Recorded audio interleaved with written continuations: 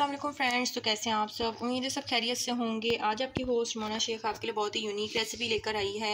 आप लोगों ने चने की दाल तो बहुत तरह से खाई होगी, लेकिन इस तरह की चने की दाल आप लोगों को बहुत ही डिफरेंट लगेगी और आप लोग ये रेसिपी उम्मीद है बहुत ज़्यादा लाइक करेंगे।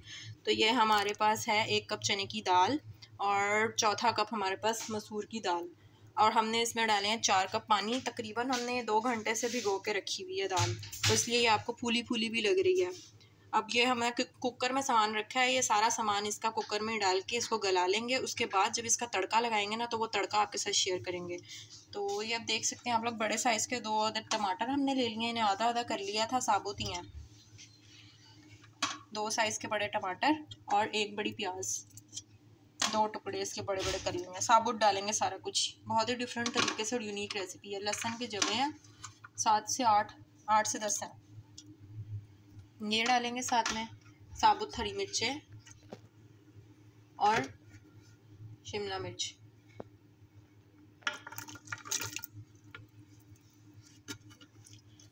अब हम इसको रख देंगे चूल्हे पे और इसे गलने के लिए छोड़ देंगे। कुछ मसाले भी हैं, वो भी आपके साथ शेयर करते हैं। नमक डालेंगे हसबे जायका, आधा चमचा हमने नमक डाला दाल की क्वांटिटी के हिसाब से। और अब हम डालने लगे हैं हल्दी। फोर्थ वन फोर्थ और ये हमारे पास ज़ीरा पाउडर है। पाउडर ज़ीरा था, हमारे पास साबुत, हमने उसका पाउडर बना लिया था। आप भी पाउडर बना लेना या तो पाउडर मिल जाए तो पाउडर ले लें। ये ज़ीरा पाउडर डाल दिया है। एक टेबल स्पून टी स्पून और ये हम डालने लगे हैं अदरक पाउडर। बहुत ही ज़बरदस्त ढाबा स्टाइल की दाल है। ये आप लोगों ने मेरे ख्याल में तो पहले कभी नहीं खाई होगी।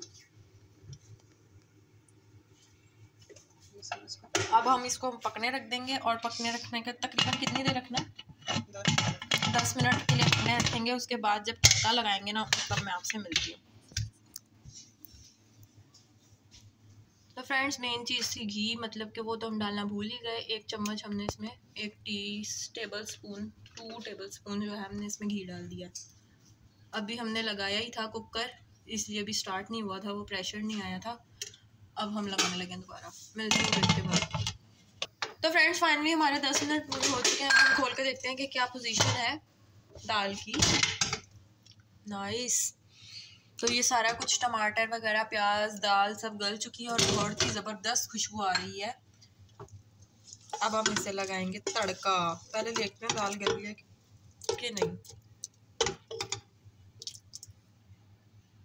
ये देखें सारी चीज़ें अच्छी तरीके से इसमें मिक्स हो चुकी हैं। अभी एक सीटी और एक दफ़ा और लगेगी। एक सीटी और लगेगी।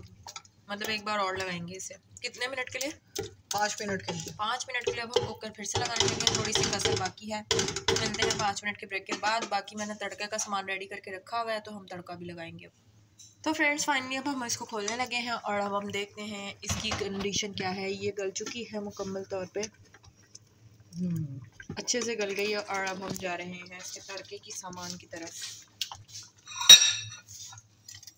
तो ये देख सकते हैं ये हमारे पास तड़के का सामान है। ये हमने लिया है दो से चार लहसुन की वो जवे और ये राई ये कड़ी पत्ता और ये ज़ीरा। ये जो ज़ीरा और राई है ये है हाफ़ टेबल स्पून और ये कड़ी पत्ता आपके सामने आठ से दस पत्ते हैं और ये दो से चार लहसुन के जवे।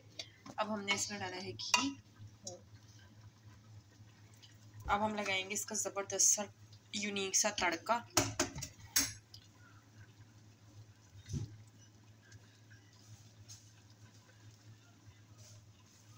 ऑयल हमारा गर्म हो रहा है, घी। ये हमने डाली साबुत लाल मिर्च, दो से तीन तीन से चार, जितना आपका दिल करे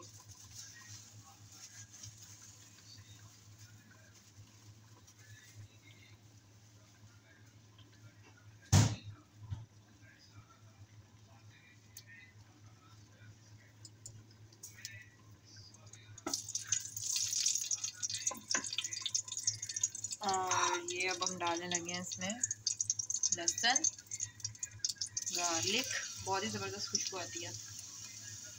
तड़का।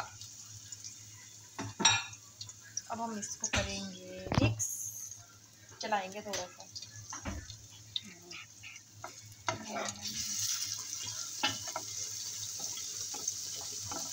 So beautiful so elegant just looking like a wow.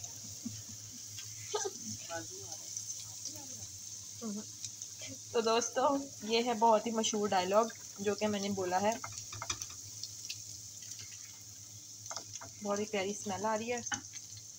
अब हम ऐड करेंगे इसमें ज़ीरा। क्वांटिटी मैं आपको बता चुकी हूँ। Half tablespoon half tablespoon बहुत ही प्यारी खुशबू आ रही है। चलाओ अब इसे भी हम चलाएँगे। नाइस अब हम इसमें ऐड करेंगे पूड़ी पत्ता। कड़ी पत्ता। कड़ी पत्ता आते ही इसमें आवाज़ आने लगी है ये क्या हो गया इसका? गुस्सा आ गया है। यार, क्या खुशबू है। एंड में क्या डालेंगे? एंड में राई राई मैंने ना इसके साथ मम्मा बना रही थी, पापा ने कहा था कि ना इसके साथ रोटी खानी है, मैंने वो भी घर की। तो मैं, मेरा मुँह था चावल खाने का, क्योंकि ये दाल ना दोनों चीज़ों के साथ खाई जाती है, चावल भी और रोटी भी। रोटी आप तंदूर की भी ले सकते हैं और घर की भी ले सकते हैं। तो पापा ने फरमाइश की कि आज मैं घर की रोटी खाऊँगा इस दाल के साथ।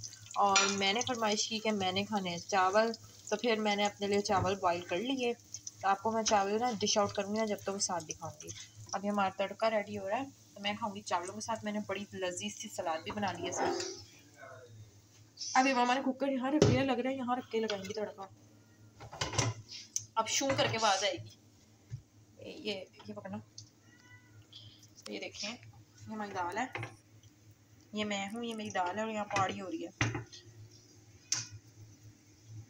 अच्छा यहाँ पे ना धुआँ आ रहा है।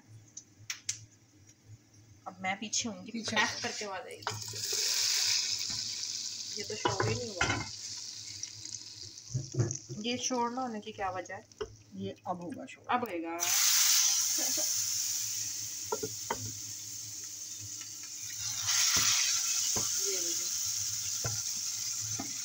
अब हम डालने लगे हैं इसमें। डिश आउट करके दिखाना या ऐसे ही डिश आउट तो अब हम आपको करके दिखाते हैं इसको डिश आउट मिलते हैं दाल हमारी रेडी हो चुकी है ना? तो मिलते हैं डिश आउट करने के बाद। तो फ्रेंड्स फाइनली मेरा रेडी हो चुकी है दाल। ये मैंने ली है दाल। ये मैंने बॉईल किए थे राइस और साथ में बनाई थी लजीज सी सलाद। और मैं अचार भी खाती हूँ तो अचार भी खाऊँगी। बहुत मज़ा आता है। तो चलें, ये अब मैं खाना खा लूँ। देखें गरम गरम खुशबू आ रही है मुझे और मुझसे रहा नहीं जा रहा भूख मुझे लगी हुई है। तो चले अब इंशाल्लाह मुझे आज की रेसिपी ढाबा स्टाइल दाल, जो चने की दाल हमने बनाई है, वो आपको पसंद आनी चाहिए। और उम्मीद करती हूँ आप लोग मेरी रेसिपी को फॉलो भी करेंगे और बनाएँगे खुद भी। तो मिलते हैं इंशाल्लाह अपने नेक्स्ट व्लॉग में। अब मुझे इजाज़त दीजिए। थैंक यू फॉर वॉचिंग हाफिज़।